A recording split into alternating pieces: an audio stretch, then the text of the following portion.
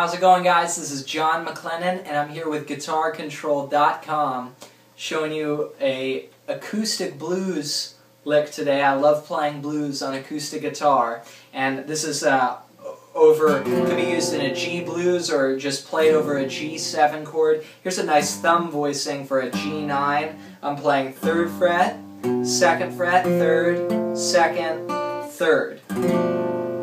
Or you could just play this one, G7. And uh, here's the lick. It's got double stops in it. So what a double stop is, is a lick where I'm playing two notes at a time.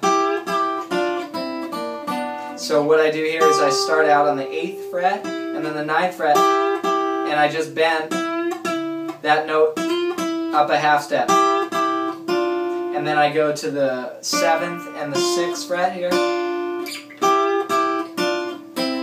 Then here's, you know, typical blues lick.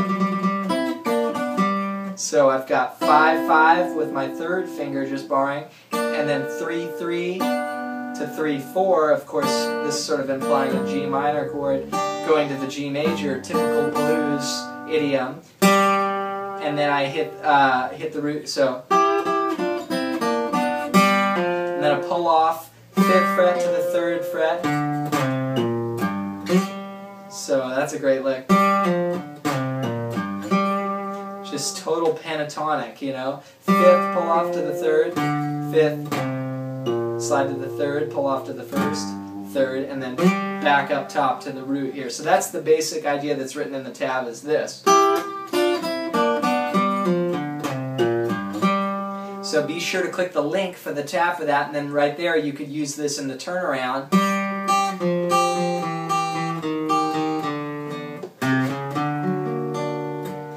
Know, and, and turn you back around for for at the end of the form, you know, going back to the top. So rhythms triplets, one and a two and a three.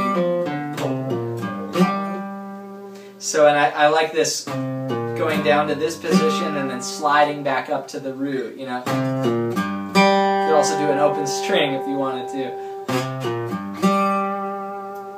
So, uh, once again, one more time.